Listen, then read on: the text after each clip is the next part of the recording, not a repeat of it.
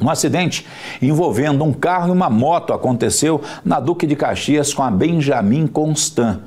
O, o, carro e a motocicleta se envolveram numa pancada ali que, graças a Deus, não foi assim de proporções tão graves, mas deixou ferimentos no motociclista. Motociclista é aquele negócio também, qualquer tombinho Tá lá, tá no chão, tá ralado com suspeitas de fraturas e tudo mais. Uma senhora estaria saindo do estacionamento com seu veículo e acabou infelizmente batendo contra a motocicleta que estava subindo a Duque de Caxias. E uma colisão que houve a necessidade do pessoal do SIAT ser acionado. A senhora me parece ser enfermeira, ser funcionária da área da saúde no município de Londrina. E infelizmente a pancada registrada e na hora já parou ali para prestar atendimento ao rapaz.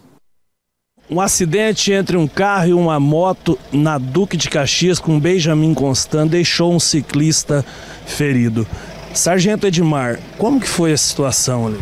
A princípio a jovem estava transitando ali pela Duque de Caxias quando um veículo acabou dando ré e acabou colidindo com ela. Felizmente era baixa velocidade, o impacto então foi de pouca energia, mas resultou ali numa contusão forte na região de joelho e essa vítima e umas escoriações. Mas a princípio nada é preocupante, felizmente devido à velocidade que era pouco empregada naquele local. Ela estaria saindo da clínica odontológica? Exato, ali tem, uma, tem essa clínica ali e acabou saindo da, da, da, clínica e não se atentou talvez ao movimento e nesse movimento de ré do veículo acabou tendo essa colisão.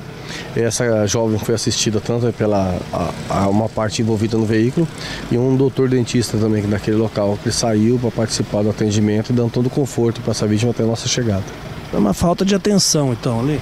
Sim, o acidente muitas vezes vai acontecer por isso, por imprudência, negligência, imperícia, e com certeza é, a, a, imprudência a negligência acabou causando esse acidente. Infeliz, felizmente era uma baixa velocidade, não foi uma vítima tão grave.